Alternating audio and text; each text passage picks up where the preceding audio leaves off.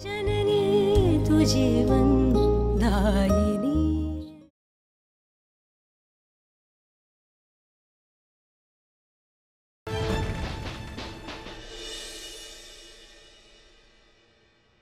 Wow. See? इतनी सारी jewellery वो माँ के गहने हैं भाभी इतनी सारी ज्वेलरी देखने के बाद भी सीबीआई वालों ने कुछ रिएक्ट नहीं किया। क्योंकि उनके साथ हमेशा एक वैल्यूअर आते हैं बहू। एक नज़र में ही पता चल जाता है कि ये असली है या नकली। आप तो पटाखे फोड़ने जाने वाले थे ना? जाइए ना यहाँ क्या कर रहे हैं? जाइए। बात को टालने की कोशिश मत कीजिए माँ। आपने तो कहा था कि ये गहने नानी ने आपको शादी में दिए हैं। तो फिर ये नकली कैसे हो सकते हैं? तब वो असली थे अब नकली। मतलब? असली और नकली का ये कंफ्यूजन समझ में नहीं आ रहा है। माँ साफ़ साफ़ बताइए ना, आपके असली गहने कहाँ हैं? असली गहने तो साल में बस एक दिन हमारे पास आते हैं। आप इतने बड़े बिजनेसमैन बन गए हैं। रवि इतने बड़े आईएएस ऑफिसर बन गए हैं। और ये हमारे छोटे नवाब ड्रामा तो करते हैं, पर असल में हीरा हैं।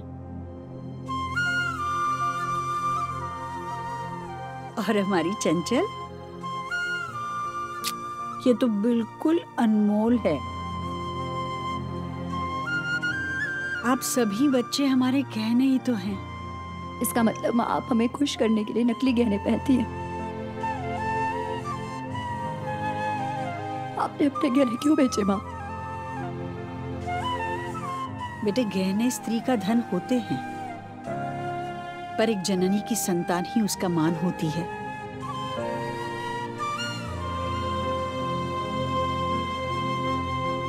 और गहने मान बढ़ाने के ही काम आते हैं। ऐसे गहनों का क्या फ़ायदा, जो अपने परिवार के काम ना आए?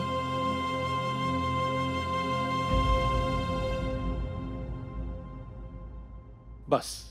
यही तर्क दे देकर आपकी माँ हमें हमेशा चुप कराती रहती थी। पर हमारा ये तर्क बिल्कुल सही था तभी आपने हमारी बात मानी है। वरना आप कहा मेरी कोई बात मानते हैं? ये भी कोई बात हुई?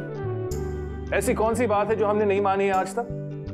अच्छा बाबा सारी बातें मानते हैं आप हमारी। तो चलिए फिर अभी पटाखे जलाते हैं। क्या बात है। जीजा जी अब तक हमें लगा था कि हमने ड्रामा की ट्रेनिंग ली है।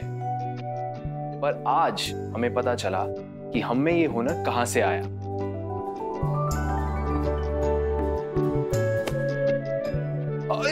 चलो चलो, सबके सब पटाखे जलाने चलते हैं।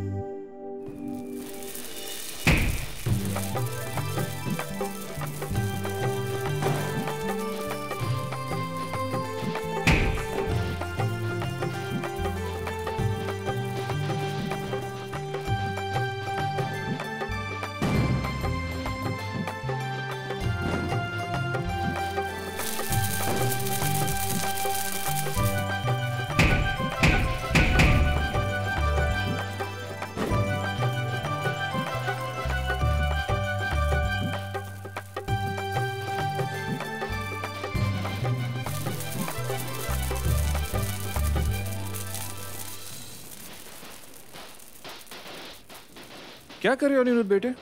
चलो। पटाखे जलाते हैं। चलो चलो चलो। नहीं दादू आई एम सॉरी पता नहीं मैं क्यों क्रैकर से डरता हूँ। I am a loser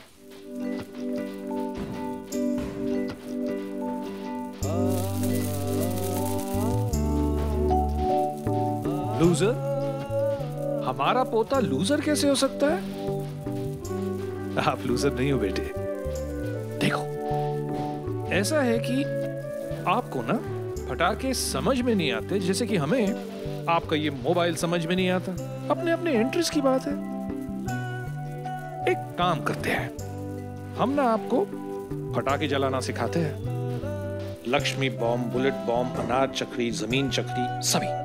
और आप ना हमें मोबाइल का मज़ा लेना सिखाई हाँ? डील डील दादू। बट मम्मा अरे मामा तब कुछ कहेगी जब उन्हें पता चलेगा ना। चलो चलो। ओके दादू।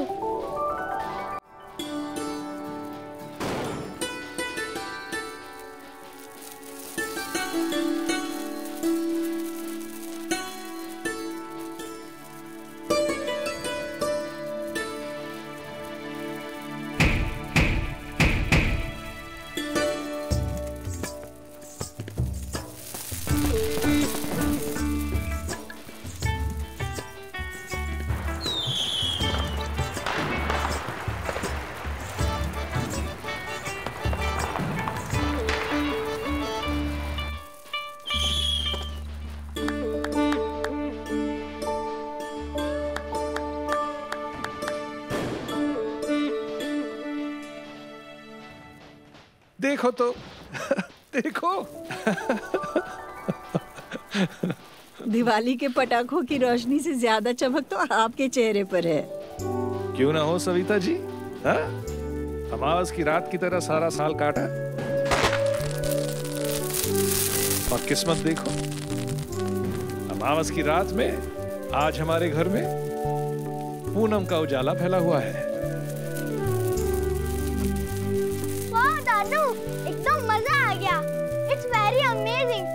दादी आज मैंने बहुत सारे रॉकेट छोड़ाए हैं। और मुझे आप दोनों के साथ रहकर बहुत अच्छा लगता है। कम से कम आप दोनों मुझे मम्मा की तरह बीमार तो नहीं समझते हो? आजा आजा आजा आजा। शाबाश। ऐसा नहीं बोलते बेटे। आपकी माँ आपको बहुत प्यार करती है। हाँ। जैसे कि तुम्हारी दादू तुम्हारे पापा को प्यार करती है, तुम्हारे चाचा को प्यार करती है, तुम्हारी बुआ को प्यार करती है हुँ? वैसे हर माँ प्यार करती है, बराबर? बस आपकी माँ आपकी सेफ्टी को लेकर डरती है हुँ? तो हमें क्या करना होगा? आपकी मम्मी को यह दिखाना होगा कि तुम स्ट्रांग हो स्ट्रांग डरने का नहीं, बिल्कुल नहीं डरने का। तो साथ मिलके हम रॉकेट उड़ाते हैं एक और बार, हैं? रॉकेट उड़ा के आता हूँ? चल चल चल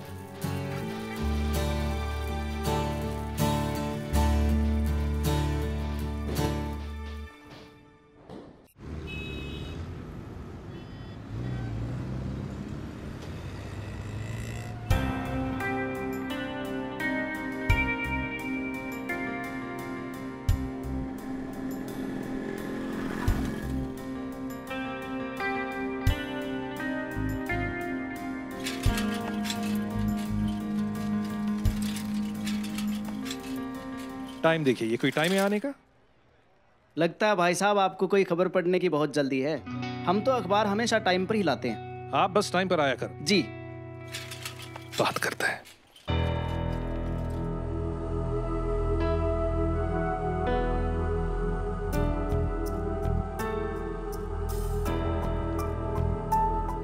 जी दीजिए।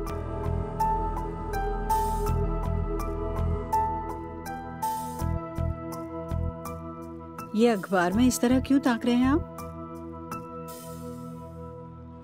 ये अखबार वाले भी अपने आप को समझते क्या है? हाँ? देखिए सविता जी, लिखा है, हमारे घर पर रेड पड़ी है, पर यह नहीं ज़िक्र किया है कि हम निर्दोष है। हमारी ईमानदारी और लगन से की हुई नौकरी की धज्जियाँ उड़ाई है उन लोगों ने।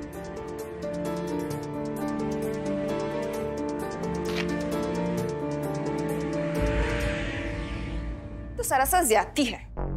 माना मीडिया डेमोक्रेसी का फोर्थ पिलर है पर कोई किसी की प्राइवेसी को कैसे कंप्रोमाइज कर सकता है? They ought to be sued. Definitely.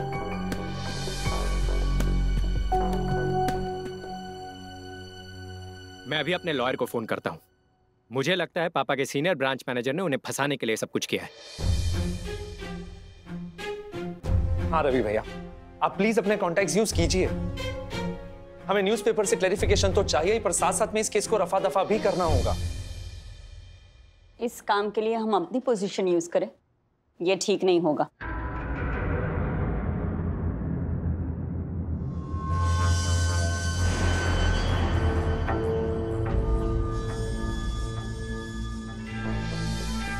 क्यों भाभी? व्हाट्स रॉन्ग इन दैट सच को सामने तो आना ही चाहिए। ऑफ़ कोर्स हम सब जानते हैं कि पापा इनोसेंट है। और फिर बच्चे अपने पेरेंट्स के लिए क्या क्या नहीं करते। व्हाट डू यू मीन चंचल? तुम ये कहना चाहती हो कि मैं पापा की हेल्प करना नहीं चाहती। मैंने ऐसा तो नहीं कहा, भाभी।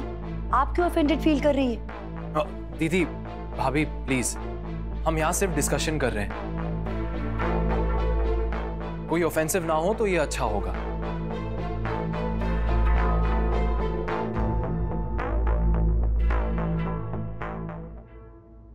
ठीक है, अपने अपने रिटर्न टिकट बुक कर लेते हैं।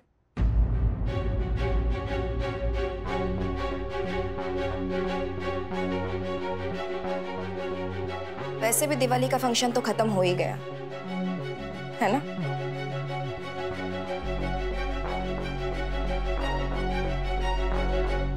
बहू, आप बात को कहाँ से कहाँ ले गई भाई, एक मामूली सी खबर छपी है अखबार में। इस पर इतनी बहस क्यों? देखिए, हम हम इस अखबार में एक पत्रकार को जानते हैं। हम उनसे बात कर लेंगे तो सब पता चल ही जाएगा। कल भाई दूज है हाँ? हम अभी मार्केट से सबके लिए खूब मिठाइयाँ लेकर आते हैं हा? आप लोग एंजॉय कीजिए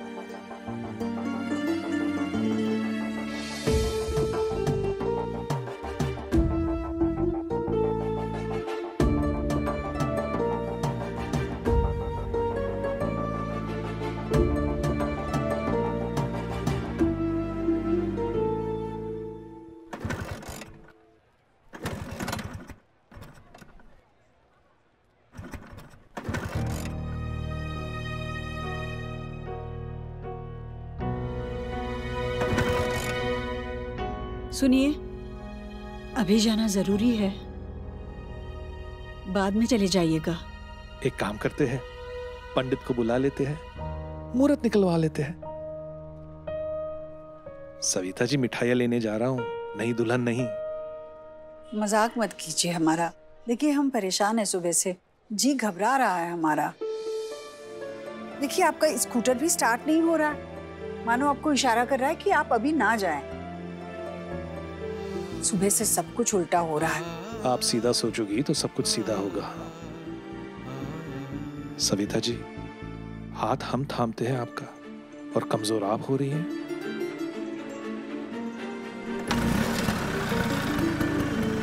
देखा, आपके डर से स्कूटर ने भी अपना इशारा बदल दिया है। खूब समझते हैं स्कूटर आपको। चलिए, हम मिठाइयाँ लेकर आते हैं। बस यूँ गए और यूँ आए। तब तक आप हमारे लिए कोल्ड कॉफ़ी का इंतज़ाम कीजिएगा।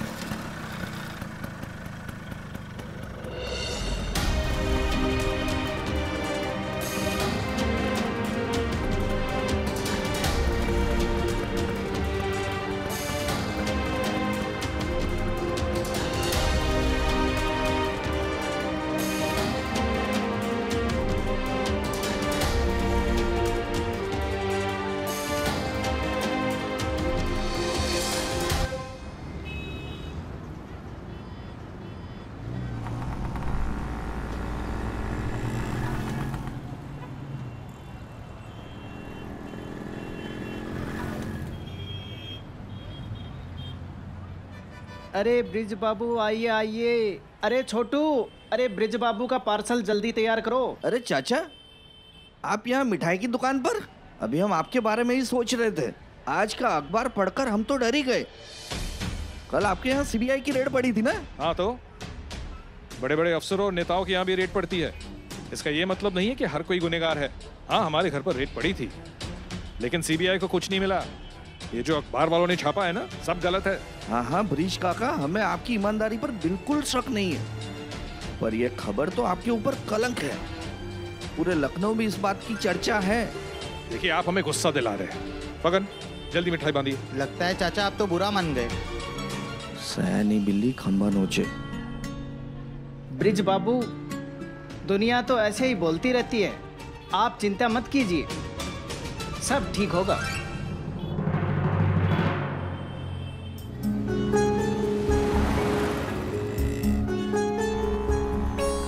अरे चाचा, आप यहाँ मिठाई की दुकान पर? कल आपके यहाँ सीबीआई की रेड पड़ी थी ना? हाँ हाँ ब्रिज काका, हमें आपकी ईमानदारी पर बिल्कुल शक नहीं है, पर यह खबर तो आपके ऊपर कलंक है।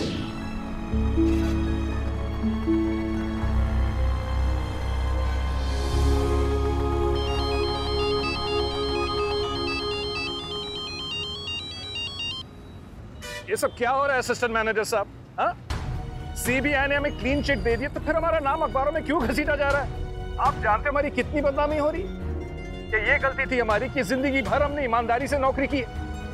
कि ये इनाम मिला है हमें। ब्रिजमोहन जी सबसे पहले आप शांत हो जाइए। देखिए सर क्या है ना कि इंक्वायरी का अपना प्रोसेस होता है। धैर्य रखिए सर दूध का दूध और पानी का पानी हो जाएगा। और आपकी पीएफ और क्यूरोजिटी रोक दी गई है। सर क्या करें? हम भी मजबूर हैं। हमें ऊपर से ऑर्डर है सर। कि जब तक केस सॉल्व नहीं हो सकता तब तक आपको आपके पैसे नहीं मिल सकते सर। ये क्या कह रहे हैं आप असिस्टेंट मैनेजर साहब? ये हमारी मेहनत की कमाई है। हमने आज तक एक रुपए की हेरा फेरी नहीं की है। और आप कह रहे हैं कि आप हमारा पीएफ और ग्रेटिटी रोक रहे हैं? क्यों कर रहे हैं आप ऐसा? क्यों? हम क्या करें? ऊपर से ऑर्डर है सर हमें चार महीने बाद हमारी रिटायरमेंट होने जा रही है। जीते जी आप हमें मारना चाह रहे हैं? कैसे जिएँगे हम? अरे नहीं सर कैसी बात कर रहे हैं आप? रिटायरमेंट का पैसा तो हमारी ज़िंदगी भर की कमाई थी। इस नौकरी में हमने अपने हर सपने को रिटायरमेंट तक टाल दिया था। जी जी जी जानता हूँ सर। अब हम क्या करेंगे? क्या जवाब देंगे हम सविता जी को? मैनेजर साहब देखिए कुछ तो कीजिए कुछ तो कीजिए प्लीज़ ब्रिजमोहन जी मुझे ना सर हंड्रेड परसेंट यकीन है। कि ये केस ना जल्द से जल्द सॉल्व होगा और आप ही जीतेंगे सर देखिएगा। बस आप ना हिम्मत मत हारिएगा। कहाँ से हिम्मत रखेंगे हम? आप तो जानते हैं कि हमारे देश में सालों साल तक केस चलता रहता है। क्या आप बता सकते हैं कि हमारे केस को कितना टाइम लगेगा? नहीं ना? तो फिर झूठी तसल्ली मत दीजिए मैनेजर साहब।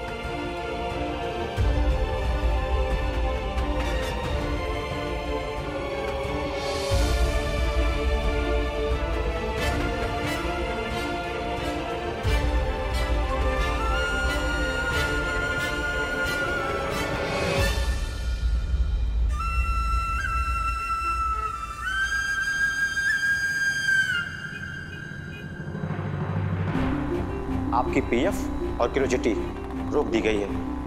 हमें ऊपर से ऑर्डर है सर कि जब तक केस सॉल्व नहीं हो सकता, तब तक आपको आपके पैसे नहीं मिल सकते सर सविता जी, ये खाली ज़मीन ही तो है जहाँ हम अपना भविष्य बनाएँगे। शादी के बाद हमने सोचा था कि हम अपना एक छोटा सा घर बनाएँगे। जिम्मेदारियों की वजह से हम अपना सपना पूरा नहीं कर पाए, सविता जी। मन मारकर सरकारी घर में हमें रहना पड़ा। पर अब ना, सविता जी हम यहाँ पर नाशियाना बनाएँगे। एक ग्रेचुटी और प्रॉविडेंट फंड के पैसों से हम प्लॉट खरीद रहे हैं। क्या है कि बुढ़ापे में ना हम अपनी मर्ज़ी से अपनी ज़िंदगी जिएँगे। अपने बच्चों पर बोझ नहीं बनेंगे हम। जब तक केस सॉल्व नहीं हो सकता तब तक आपको आपके पैसे नहीं मिल सकते सर। आपकी पीएफ और क्यूरोजिटी रोक दी गई ग्रेचुटी और प्रॉविडेंट फंड के पैसों से पैसों से। हम प्लॉट खरीद रहे हैं। आपकी पीएफ और क्यूरोजिटी रोक दी गई है। हम प्लॉट खरीद रहे हैं। रोक दी गई है। हम प्लॉट खरीद रहे हैं।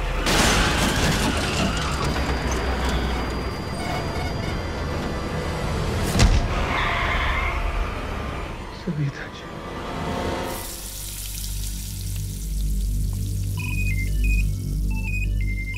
चंचल? चंचल बेटा? जरा यहाँ आइए तो। जी माँ। अच्छा सुनिए ना हमारा फ़ोन उठाइए ना। आपके पापा का होगा। माँ फ़ोन किधर है? हाँ देखो वहाँ पे है टेबल पर।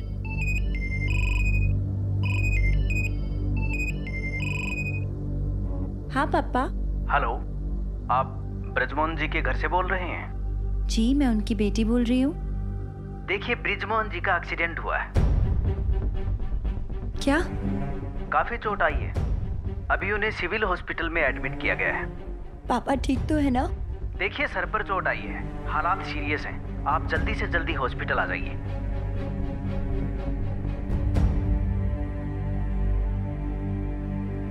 चंचल किसका फ़ोन था? क्या हुआ है पापा को? रवि भैया पापा का एक्सीडेंट हो गया दीजिए लाइए लाइए बात करते हैं हम। ये क्या फ़ोन रख भी दिया? कमाल है हम चौंक लगा रहे थे ना। समय लगता है आने में दो मिनट रुक नहीं सकते थे। क्या कह रहे थे पापा? माँ पापा का एक्सीडेंट हो गया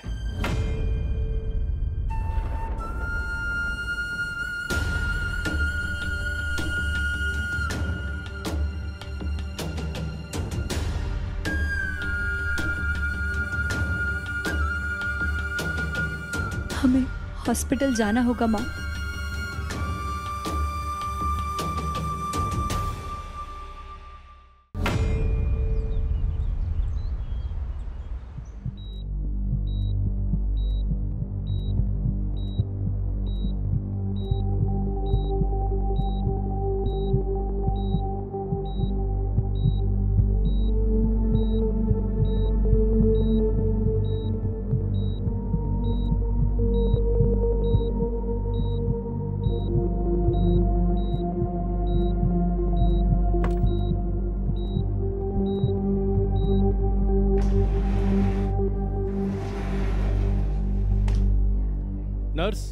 यस सर पेशेंट की फैमिली से कोई आया है? नहीं सर कोई नहीं आया है। कंसेंट के बिना ये क्रिटिकल ऑपरेशन नहीं हो सकता। माँ एक मिनट। ब्रिजमोहन कौशल जी। जी वहाँ पे। वहाँ। कहाँ है डॉक्टर? आईसीयू के पास।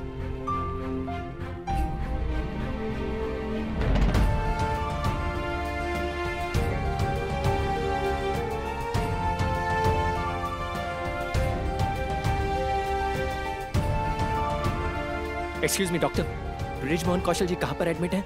आप हम हम उनकी पत्नी हैं। कहाँ पे है वो? कैसे है? आप मुझे बताइए मैं उनका बड़ा बेटा हूँ। आप मेरे साथ आइए। नहीं नहीं।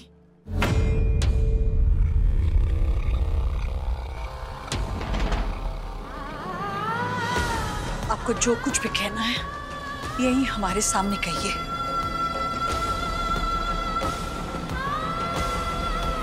उनकी हालत बहुत क्रिटिकल है।